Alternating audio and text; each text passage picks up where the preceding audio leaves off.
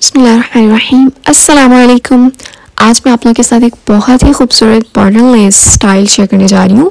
इसको आप अपने दामन स्लीव्स ट्राउज़र वगैरह पे यूज़ कर सकते हैं। ये बनाने के लिए सबसे पहले आपने ये चकोर फैब्रिक लेना है।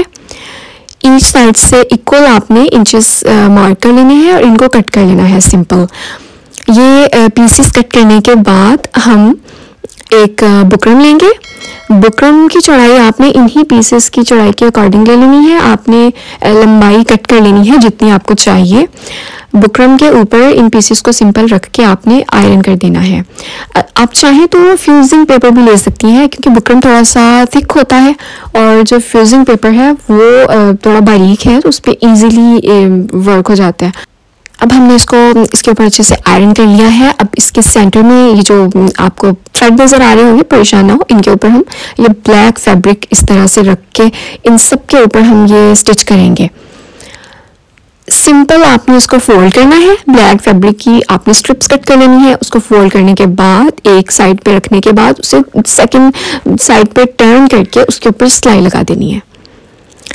इस तरह से आप ये जो है, जितने भी पीसेस आपको नज़र आ रहे हैं, इन सब पे वन बाय वन इस तरह से आप कर लेंगी तो आपका ये जो सेंटर में थ्रेड नज़र आ रहा है, ये सिक्योर हो जाएगा। तो ये हमारी पट्टियाँ हो गई हैं कंप्लीट अब हमने इन ब्लैक स्ट्रिप्स के अंदर ये वाइट थ्रेड यूज़ करना है। इसको आपने सिंपल फिरकी में फिल कर लेना है। और बैक साइड पे हमने बुकरम वाले साइड जो है, इसके ऊपर से इस तरह से इसको सिलाइयाँ लगाते जाने हैं। आप चाहें तो बिल्कुल सिंपल स्ट्रेट स्ट्रेट सिलाइयाँ भी लगा सकते हैं हमने एक स्ट्रेट लगाई है और एक जिग Here I request uh, that if you didn't subscribe our channel, please subscribe and you can press the bell icon too if you want to get more notifications.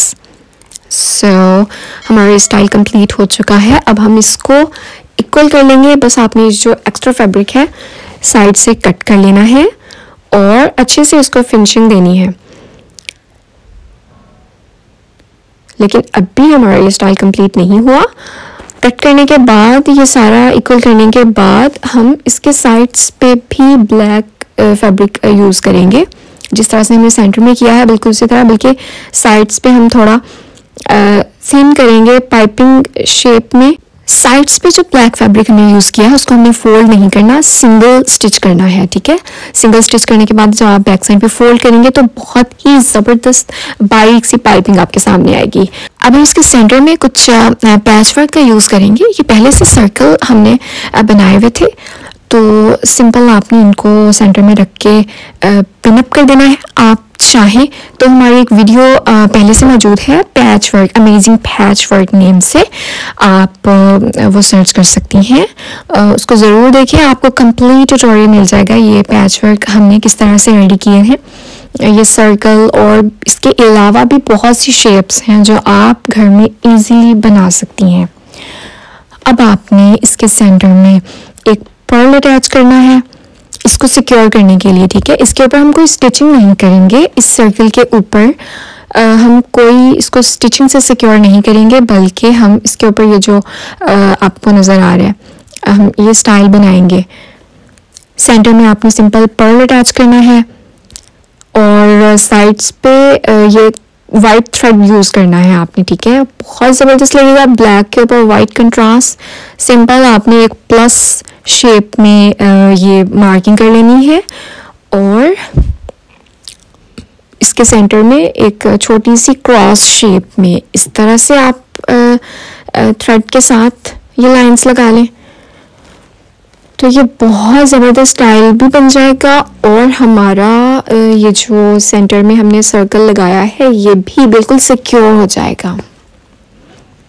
बस आपने इसको बैक से अच्छे से गिरा लगा लेनी है। And our today's tutorial is completed now इसको आप जहाँ चाहे यूज़ कर सकती हैं गले पे दामन पे स्लीव्स पे।